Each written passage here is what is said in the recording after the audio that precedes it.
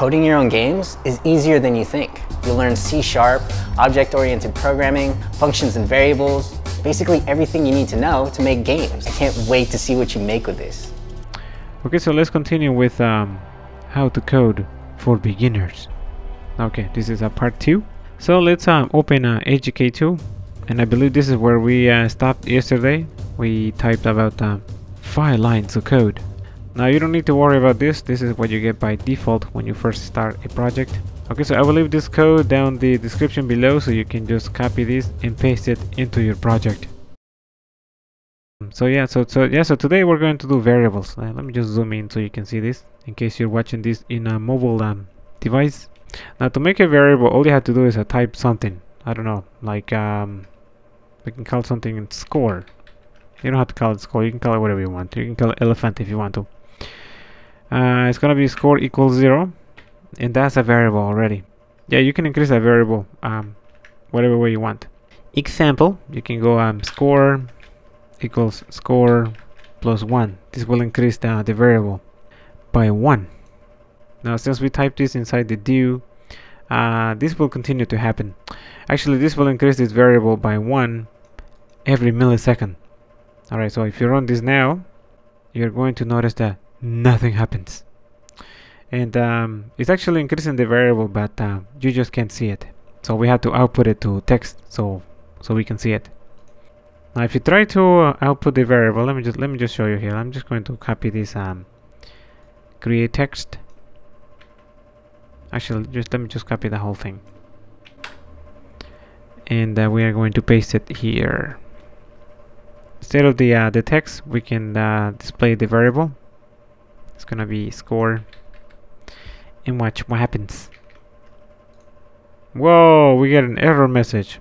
So basically the error message is that um, uh, text doesn't accept um, numeric variables. So this has to be converted into um, a string which is text. Okay so let's do that. I already have a line of code here so I'm not gonna bother uh, explaining this right now.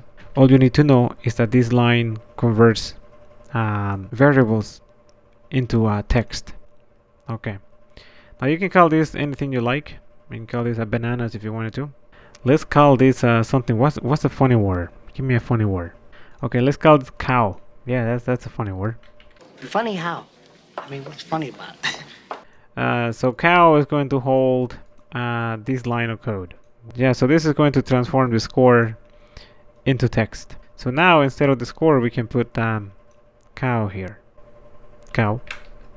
And this cannot be text 1 uh, because we already have um, text 1 here already created. So that's gonna give us an error message. So this needs to be text 2 okay text size 2 everything 2 so this is basically the ID of whatever you want to handle.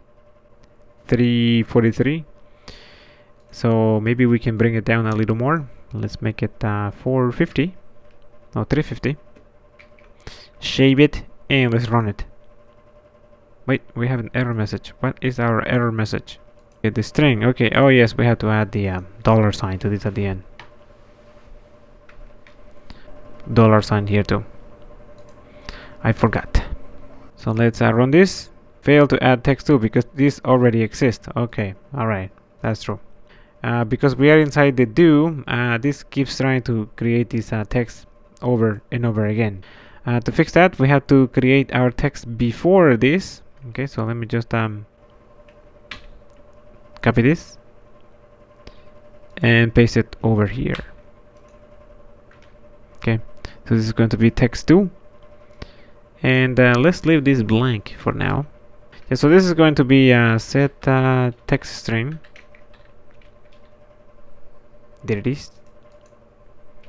And the ID we're looking for is uh, text 2 we can put something here like um, your score is plus our um, cow variable. Okay. I don't know if you can see that. Let me see. Just move this back here. Uh, it's gonna be cow dollar sign and close it. Okay. Alright so that should work now. Let's run this. And you can see that it works. Okay but um, let me just bring that down a little bit more. Let's see text position uh, let's set it to 70 370 and that looks a lot better. Okay I think we should leave it there. So in part 3 we are going to do um, an if statement. Okay guys see you in the next video. Oh yeah like the video and if you're not subscribed don't forget to subscribe. Bye now